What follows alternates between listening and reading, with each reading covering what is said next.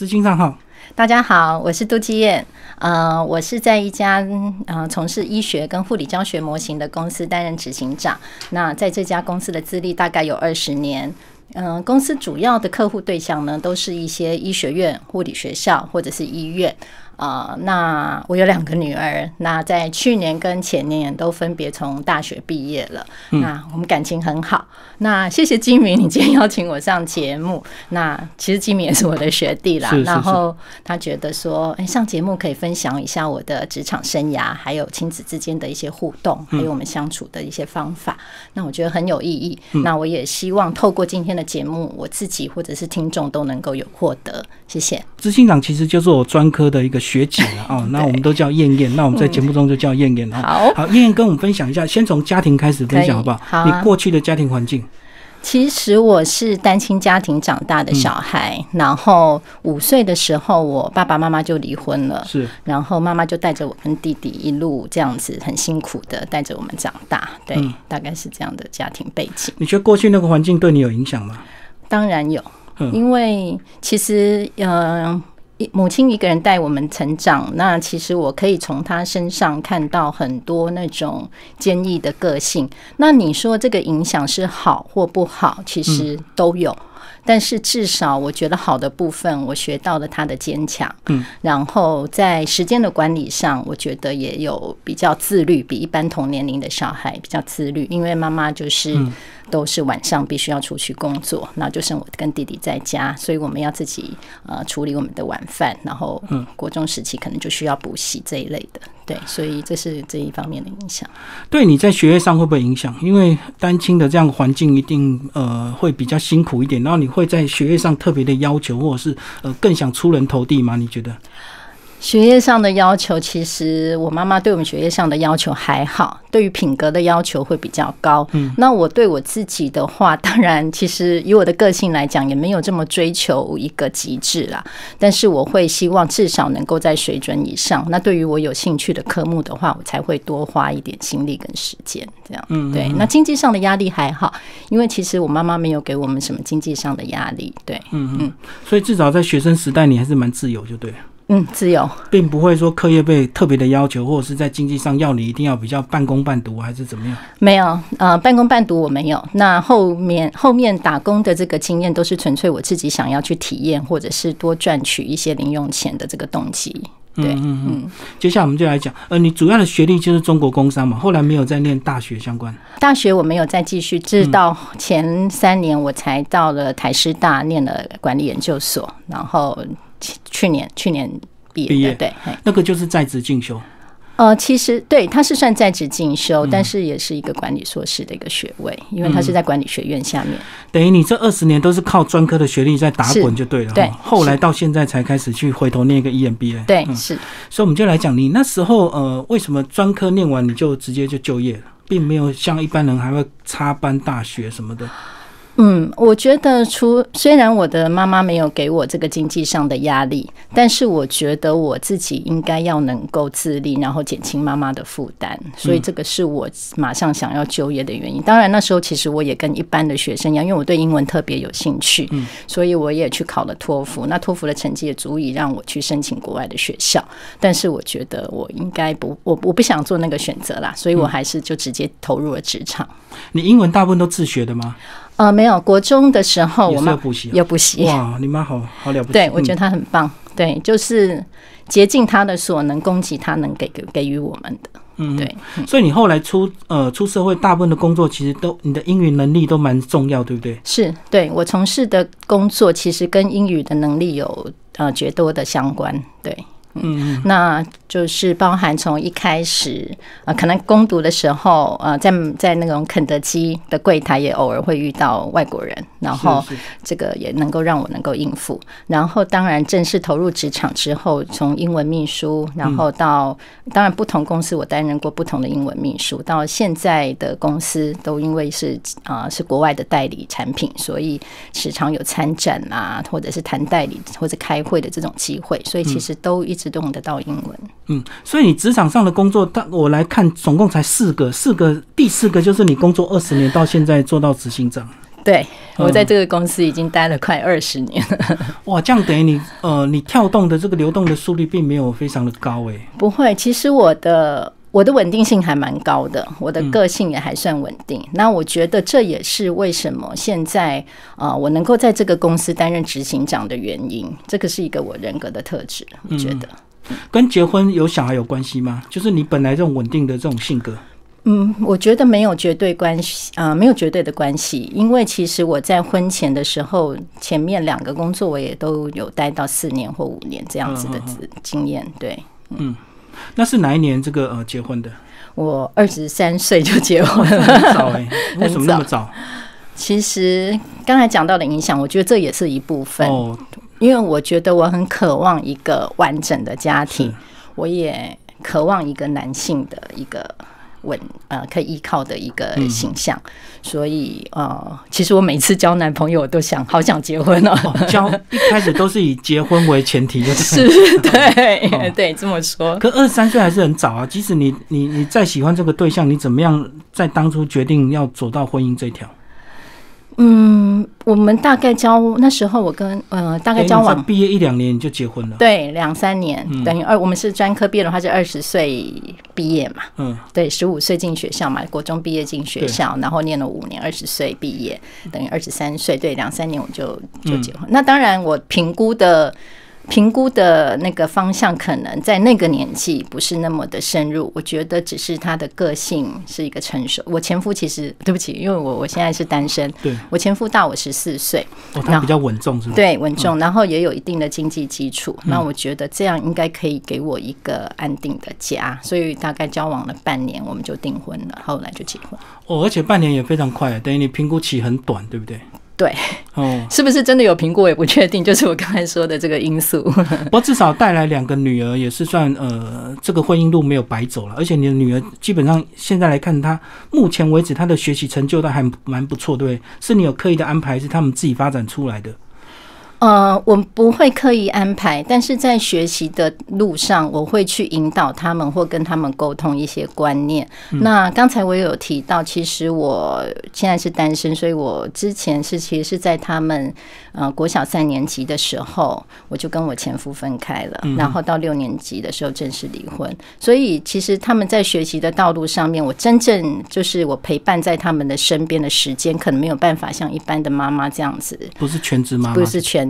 但是只要他们有碰到一个人生比较重要的阶段，或者是在学习上面有什么样子需要抉择的时候，我都会给他们意见或引导他们。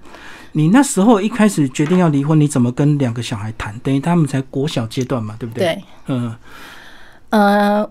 其实那时候还懵懵懂懂的啦，哈，一直因为我们一开始分居，那时候他们才国小三年级。是。那因为其实分开的时候也不是太过愉快或平和，所以一定有一些争执的过程。嗯，对，所以前夫也没有说让我可以很规律的去探望小孩，所以我会。利用呃他们午休的时间，我跟老师说，让我去跟小孩碰个面，然后跟他们一起吃午饭。其实这个，因为他们都要在教室里面吃饭嘛，所以借由那个时间，我可以跟他们聊一聊。就利用中午的一小时。对，然后到比较大的时候，就是我们正式离婚的时候，我有跟他们讲，是想跟我在一起，还是跟爸爸在一起。嗯，那其实小孩也不知道怎么做抉择。我说没关系，那应该是你们想待在现在的这个环境，就是学习环境，至少不会做一些变迁。嗯然后我自己也评估啦，因为其实我前夫的家庭他是有婆婆。然后我一个小姑也未婚，可能有家庭资源就对，对，所以这个家庭资源的这个 support 会比我一个人单身来的好，所以我就让他们留在原原来的家庭。嗯嗯嗯，哇，对你来讲是很难熬诶，因为你是呃妈妈的角色，两个又是女儿，一般很多妈妈想破头都会一定要抢抢到这个女儿的这个监护权呢。你却能够这么理性的去评估说，哎，怎么样对他们是比较好的一个环境下。我一直其实我不晓得理性是我的优点还是缺点，所以我会站在一个比较客观的立场去想。主啊，是即便其实，因为我跟我前夫的原来的问题，当然很大一部分也是婆媳的问题。嗯，但是我觉得我的理性也是让小孩子比较平衡的一个健康的成长，因为我从来不说别人，呃，就是我婆婆的任何事情，我只每一次她都会有疑问来问我说：“哎，阿妈说你怎么样？”我说：“那你一些疑问来问，对，那你不会回头去批评就对，不会，我只说那你想想嘞。”那妈妈做的什么？有这样吗？那你再想一想。对，嘿，我都给他们一个思考的空间，我不会直接说对跟错。那后来他们这个慢慢比较长大，他们在求学的过程怎么去跟你互动？包括他们大学要选系的时候，你有参与一些意见吗？因为你本身英文很好，他们两个英文也很好。其实会有这个，其实他们就会来问我，因为平时平时都有在保持互动嘛。那所以像老大他在念要准备考大学的时候，其实那时候是繁星啦哈。现在他们都已经改成这种推甄计划。他在选系选校的时候，他就会来问我的意见。那那时候我就会跟他分析说，哎，你念，比如说他那时候有也有分数可以到达念世新的这个相关的新闻相关科系，然后再来就是名传的这个英文系。那我分析给他听，可能将来职场的生涯会。是怎么样？是不是你喜欢的样貌？然后最后他自己就选择了这个名传的英文系，因为他自己语文方面也很有天分。嗯，那像小的的呃老二的话，问题就比较大一点。其实他呃学习的成绩并不是很好，但是因为他们两个从小都学舞蹈。那其实中间在国中的时候，即便每天他们都要去补习，或者是学校有课业，还是持续这个舞蹈的这个学习。那刚才讲到呃小的他课业上表现可能比较没这么好，但是他在中途国中的时候也曾经想要中断这个舞蹈的学习。那那时候我就有跟他讲，我说你要不要想想看，其实你课业上一直表现不好，他也会没有成就感。可是他在舞蹈方面，他就可以有很好的成绩。他会不会从小会被姐姐所影响？他变得比较没有自信，你觉得嘞？就姐姐可能表现比较好，会不会有这样的问题？其实不会，因为我从来不比较。哦，对，我觉得这个问题不存在。那只是他自己对课业没有兴趣，但是又花了那么多时间。那所以我会引，所以您您刚才问的就是说，我会不会去引导他？我就会跟他讲说，那你这样跳舞的第一名、第二名的时候，你有机会在全校的同学之前表现，因为学校会请他们上台表演。我说你可以获得另外一种成就感。那可是课业上你没有办法，要不要稍微休息一下就好，不要停。然后再继续。那后来他考大学的时候呢，其实第一次的成绩非常的不理想。嗯，那考到的学校可能就是台北以外最高学府的这种山上，然后又是设计，他喜欢画画什么这样子，然后就考，可能这个分数可以上那个学校的设计系。嗯，我说你先不急着念这个学校，我说你如果你要念这个学校，第二次再考，你他这个。缺一直都在，嗯，那你要不要再努力一下？哈，然后我所以那段时间大概接近五月到七月这个职考的时间，大概两个月。我说我陪你一起每个周末，我们就来背单字，好，然后你数学不行就放弃它，然后我们就来背单字，然后他也愿意，所以我就给他一个进度，每周我们背多少单字。那后来他就考上了文化的德文系，所以跟他之前的成绩其实差蛮多的，对。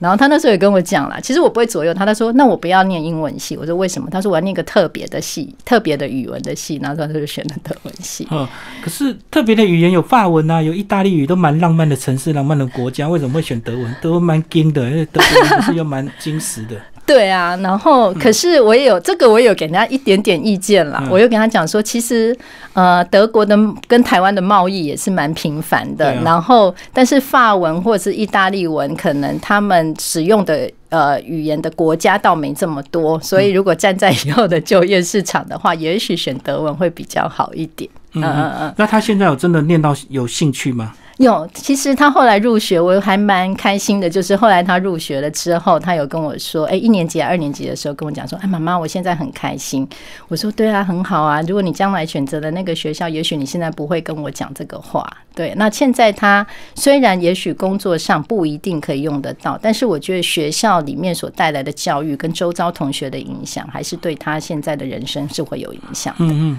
女生的一些青春私密，他们会跟你聊吗？包括以前学生交男朋友这些事情，会，你你你也会提供意见？会啊，我会提供我。你完全说不能交二十岁以前，不是这样子吗？哦，对，我会跟他们讲这个底线。二十岁啊，对，我会跟他没有，我是跟他讲高中时，我没有说二十岁，我说大学以后可以交男朋友，而且要多交。嗯，嗯，多我比较是不是？对要多比较，不要像我一样这么早走入婚姻。嗯，可是你你学生时代你也是交很多啊，对啊，所以你选择比较快啊。哦是对啊，对啊。那我会跟他们讲要多交往啦，然后不要这么快走入婚姻。所以像呃小的她交男朋友的时候，我就说那你要带来给我看呐、那他也带来跟我吃饭啊，就一起大家吃吃饭这样子，对。然后也分嗯这些男朋友有符合你的期待吗？因为现在年轻人难免都比较废一点，就是可能打电动啊、干嘛，或者是不像我们这么矜持啊。你你觉得男朋友符合你的期待吗？他不需要符合我的期待啦，我觉得基本真的哦 他。呃，可以这么说，因为我也不觉得他会是我女儿的最终的人生伴侣啦，嗯哈、然后在这个阶段，他只要是一个品格端正的人，然后我觉得就好了。那其他的事情我倒没有设太太多线，但是安全上我会提醒我自己的女儿要注意。对，嗯嗯嗯对，哇，你还真的蛮蛮开明的。有时候我看到这个女儿的男朋友是干嘛，平常在干嘛，就很摇摇头说：哇，这么年轻，为什么不多增长见闻，或者是怎么样？为什么会去去去去做一些现在年轻人会做的事情？是我们期待太深了吗？我觉得这个我会适度做一个调整，因为可能就是我自己在职场上，我也看到有些新人进来，他就不像我们这个年代的人这么积极的学习，然后这么有效的去管理他的时间。嗯，那我觉得这个时代的变迁，我们如果一直坚持在我们的观念，他就是要有效的运用他的时间，这样子就是要很积极的去学习他本位以外的事物。我觉得有时候我也会不会把自己搞得很痛苦。那我觉得最终的目的就是你把目标设定好，嗯，然后可能以我的女儿来讲，我觉得她快乐、她安全，这就是我最要、最终需要的目标。那在这个前提之下，我觉得有一个可以允许的范围，就让她自由发挥。嗯嗯，对。好，接下来我们来讲你的职场。你职场上一路的这个成长到今天，都是职场上很努力，还是你有额外再去做一些学习？我其实我其实蛮蛮努力的了，哈。我所谓的努力，是我当然年轻的时候记性好，然后再来第二个原因，我会觉得是我会对于我虽然不熟悉的事物，或者是我没有接触过的事物，我还是会很愿意去接受挑战，或者是长官给我的任务。那在这个前提之下，如果我接到了这样的任务的话，我就会去。尽量去收集一些资讯，或是花时间把它记下来。嗯嗯，举例像说那时候呃毕业之后，第二个工作我是到 ICI 防水涂料在台湾的一个代理商那边工作。那其实跟我所学习的领域，除了语文有运用到之外，其他的专业是我没有学习过的。嗯那那个工作的时候，呃，像有时候会有设计师啦，或者是一些专业的人需要讨论这些防水材料，或者是一些产品的资讯，我都那个时候我就可以偶尔代替老板做一些这个方面的处理。那就要去学习防水相关的专有名词，就对，对我不是只有英文绘画而已、啊。当然，然后我也会把一些数据给背下来，就是它的一些防水性、它的抗压性这一类，我会试着把它背下来。对，然后就可以在我跟对方沟通的时候运用得到。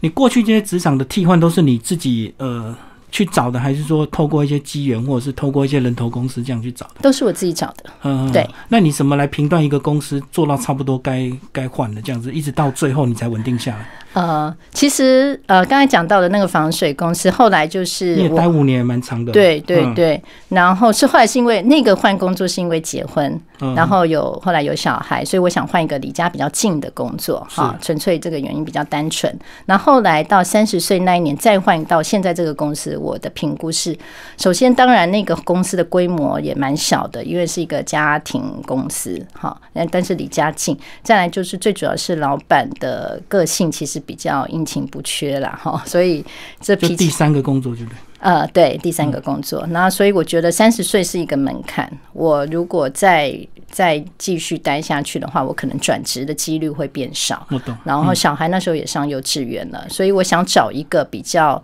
呃有规模一点的，然后再来就是呃比较有制度的公司。哦，等于他上幼稚园，你就比较心思就不用花这么多就对了。是白天有人学校帮你顾了嘛。对啊，对啊，对啊。嗯，所以你就可以开始回头探索自己的一个发展。对对，我就可以比较去检视我自己在职场上面，我想获得什么样子的成就感。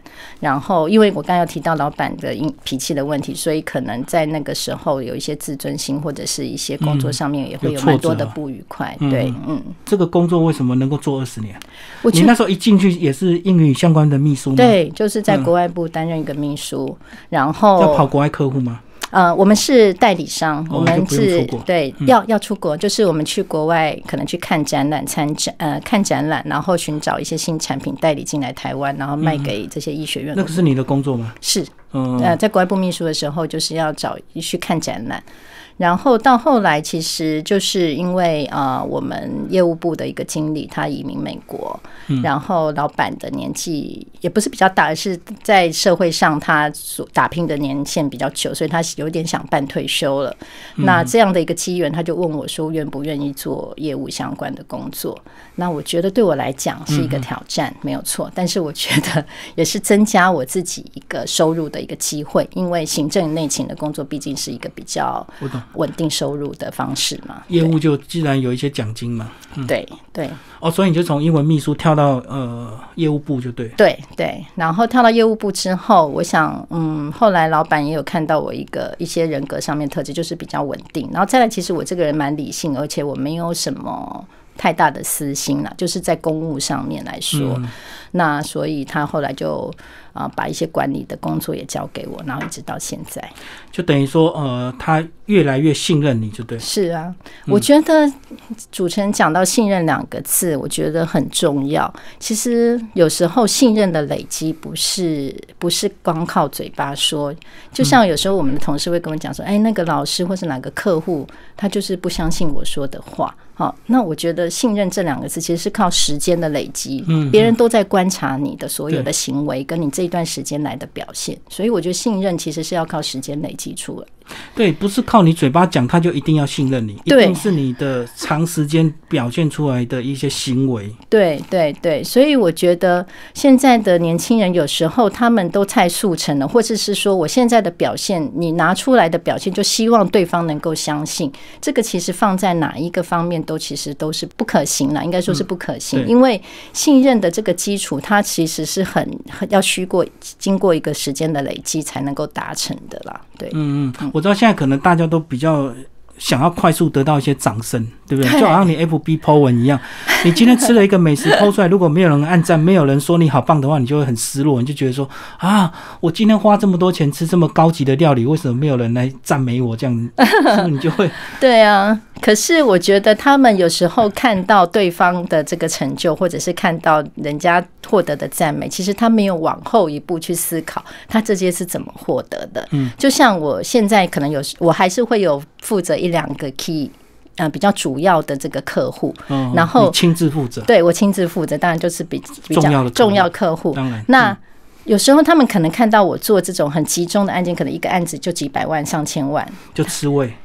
呃，其实我刚开始的时候他们会这样，因为其实我做这个管理职的时候，很多同事有几个同事都比我还资深，但是老板选择了我。其实那段我经历了一段这种时期啦，对，哎，那可是我觉得这个。我会有这样的机会降临在我的身上，都是因为我跟客户当中的互动去累积出来的，包含我能够提供给客户什么样的有用资讯，而不是只是来销售产品。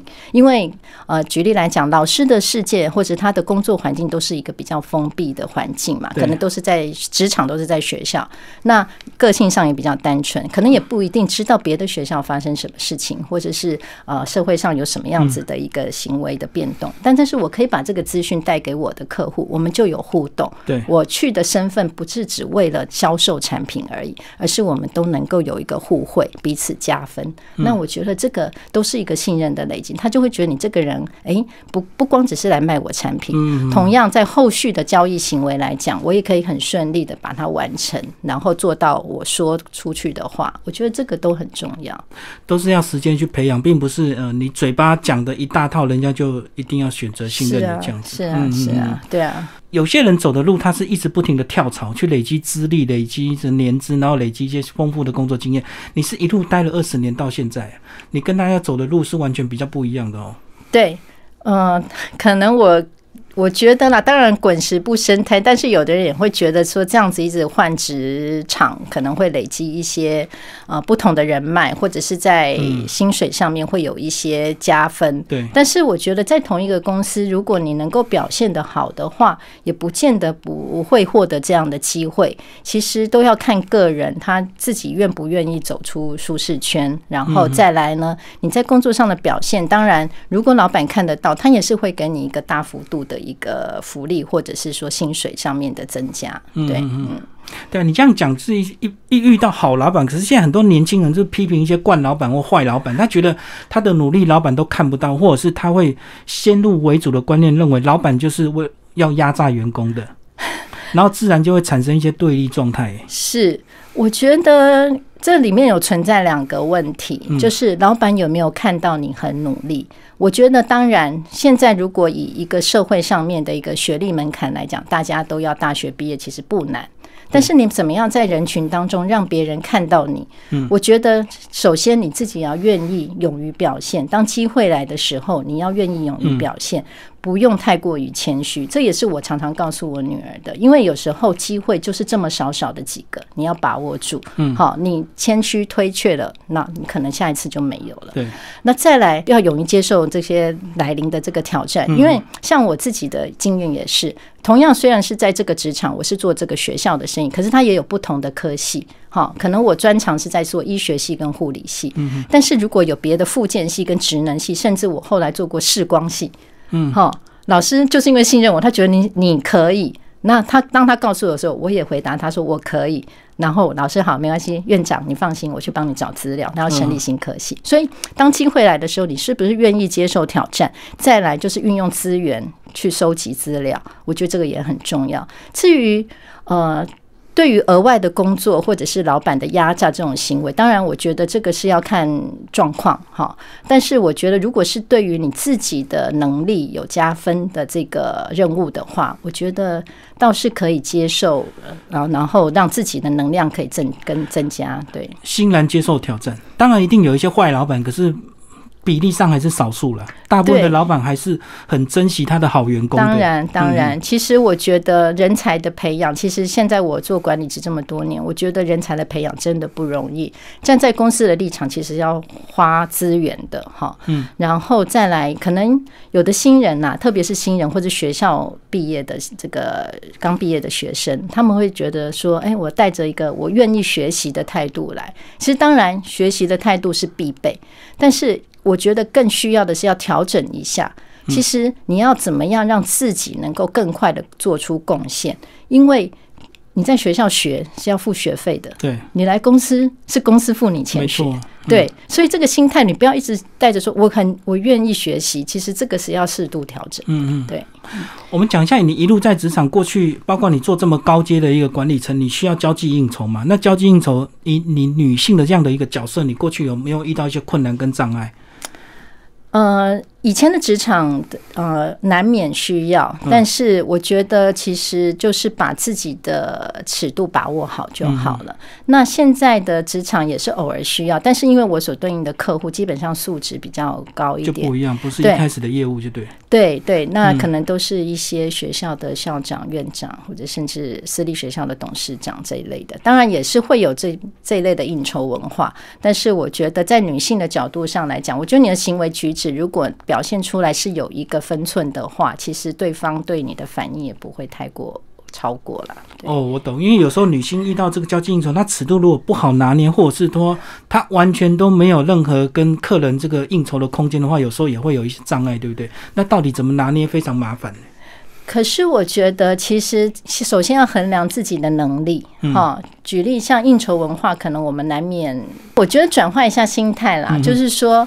其实跟客户当朋友是一件一一种很好的行为模式。如果说有一个客户愿意帮你当朋友，他下班的时间也愿意花在你身上，然后或者是他有什么快乐的事情，他也想找你一起分享的时候，你不要把它当成应酬。哦，对我觉得朋友一定照顾朋友嘛。然后，所以当他有一个好的机会的时候，他也会想到你。那至于喝酒这件事情哦，可能我们应酬会想到喝酒这件事情，我觉得衡量一下自己的能力。我同样也告诉。我的女儿，你在家就先喝，喝看看你到底你能喝到多少，你会醉。自己的酒量底量，对对，你的底在哪里，然后才不会去外面你就失态了，或者是说会有一些脱序的行为发生。对，嗯嗯那我觉得把自己控制好，那可能也就是理性带来的好处吧。把自己控制好，我觉得就不会太超过。对，所以这这么多年来对你都完全没有造成困扰哈。情绪上面会有一些困扰，但是这是属于我自己可以处理的部呃，分。个人调整的对，那外在表现我可能都尽量把它维持好。对，嗯嗯嗯好，最后我们来聊你呃，后来这两年又去念这个 E EMBA，为什么你会呃决定要再回头念念那一个硕士班？哎，我觉得这个其实跟我大概三年前生了一场大病也有关系。嗯，我三年前开了一个刀嘛，哈，然后其实我以前就是离婚之后的工作跟生活其实还蛮单纯单调的啦，哈。那那次刀就是因为我发烧，然后肚子痛，嗯，然后我还坚持。就是出差，好到南部出差，到回来才发现其实是蛮严重的。那当然也跟之前的医生有误诊也有关系啦，哈。然后开完刀之后，我就变得走路、行动都要非常的慢，好，我快不来，嗯快不来。我以前是到国外出差，可能英国出差四天五天，我就要给他来回的那一种人，哈、我就是要把握时间做所有我可能做的事，走路也是非常快的人。是然后开了刀就快快不来。那后来我觉得，我其实人生应该有一些事情我可以慢慢来。嗯，然后再来，其实我前两天有听到你一个广播节目，嗯，那个一个心理师，呃，苏心理师，他有分享。他在呃，对他有讲到一个，我觉得蛮有趣，某部分也是我的一个呃个性，就是他是不是讲到一个症状叫做冒牌者，嗯嗯。类似这样子的一个症状。对，其实某一部分我在社会上这二十几年，常常有人跟我讲说：“哎、燕燕，你看起来人也长得不错，然后拥有的经济条件、物质条件也都不错。每次别人人家这样夸奖我的时候，其实我都还蛮心虚的。我我我真的不觉得，我也不晓得该怎么回应人家的这些这些夸赞。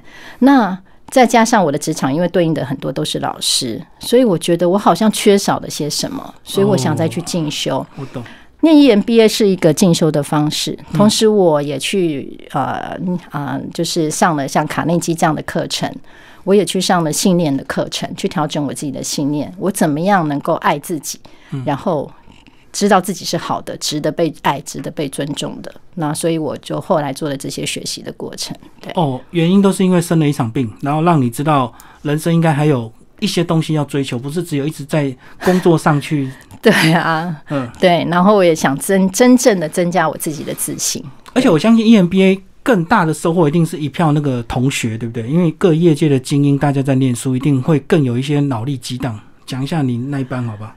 呃，当然，EMBA 的同学都来自四面八方，然后我觉得同学的资源当然可以带给我们一些冲击哈，因为每个人都在各自的领域是他可能是一个领头羊，但是这样子的一个课堂上面，大家有不同的经验分享，或者是他一些背景方面所带给你自己的另外一方面的思考，我觉得这个很好。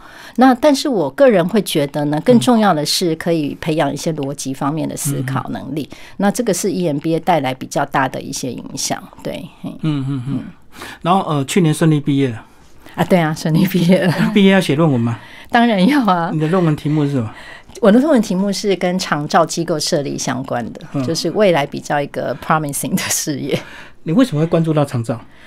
呃，这个其实可能跟我接下来想做的事情也很有关系。我接下来其实想做的事情是成立一个长照机构，嗯，对，然后所以我做了一个这方面的研究。超前部署就对。对啊，可是因为是因为家人有关系吗？所以你去关注到长照议题，还是看到社会现象？最主要是社会现象，嗯还有一个经济面的一个需求。当然，因为毕竟如果我从这个职场想要再有别的发展的话，我觉得可能自己创业会是一个比较好的一个选择。然后，因为老年人口其实在二零二五年就会占我们全国的比例在百分之二十到二十五左右，所以这个需求面其实是非常的大的啦。嘿，然后社会结构的改变这些等等。哦，所以应该也是跟你的职场跟医疗相关，所以你会比较敏感，就对了。对，会就是从各方面获得的资讯，我会注意到说，呃，这个结构的改变，或者是哪一个区域，它对于这这个长照的需求会比较多，所以这个方面会带给我一些这个评估。嗯嗯嗯。好，最后我们用家庭来做结语。好，呃，你对你两个女儿的期待会不会像你希望这个一样这么早婚，然后让你抱孙女，然后你就变成阿嬷？当然不会，我不会不会这样子想。我不想那么快升级，但是我一直都告诉我女儿，就是说不要太早结婚，多交男朋友，然后多评估，就算你跌倒受伤都没有关系。所以我女儿之前失恋也会来找我哭哭啼啼的，我说没有关系，然后就是多交多比较，晚一点学习。那我期待他们呢，其实最重要的要先要爱自己，嗯，那他们也都学到了。哎，真的，女生如果你不爱自己，男生就不会珍惜你。是很多男生真的是哦，真的是你哭哭啼啼，他越不理你。如果你表现的很坚强，男男生反而会觉得说：“诶，我跟你分手好像错了。”你怎么原来你这么棒，这么独立，我都不知道。我以前以为你会一直黏着我这样子。是，而且你真的爱自己，你所散发出来的讯息，跟你身脸上的光彩都会是不一样的，就跟我们现场的光一样，散发出你的爱自己的一个气息。当然，然后而且很多人常会讲说：“哎，我希望以后将来跟你有多好的未来，或者是。”不管是你的人生、爱情，或者是你的工作，我都期待后以后会怎么样。先不要期待以后，现在你活在当下，你让自己能够发光发亮。你跟那个人相处的是快乐的，他看到你都是漂亮的，然后开心的，其实你们就会有很好的未来。所以我觉得爱自己。真的很重要，所以我期待我女儿能够爱自己，然后呢，自己可以去追求自己更好的人生，走她自己的路，不要急着像你二十三岁 走入婚姻就对了。是啊，对。好，谢谢我们的呃杜基燕燕燕为大家介绍她的职场生涯，谢谢，谢谢金明，谢谢。